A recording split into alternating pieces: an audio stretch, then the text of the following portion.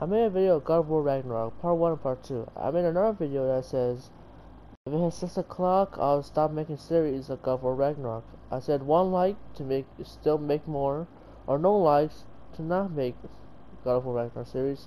And I got no likes, so you know what that means. So I deleted. But I still have more series coming of Resident Evil 7. I still haven't posted them yet. But you hear me talk about God of War Ragnarok? Uh, know, cause those those videos are old. That's why. Resident 7, those videos are old, so you can even talk about God War Ragnarok.